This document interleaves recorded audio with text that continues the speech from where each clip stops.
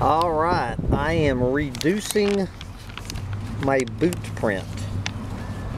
I am reducing my environmental boot print by shopping at the Hairy Butts Plus. There you go. I am saving the planet by reducing my footprint. Get to know your bag. This is made with recycled plastic and made in the USA.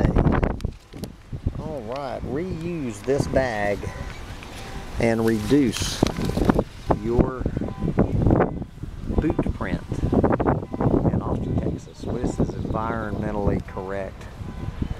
Austin, Texas. Yes, we are all, every one of us here is reducing our boot print at the Hairy Butts Plus. There you go. This is one way to reduce your boot print.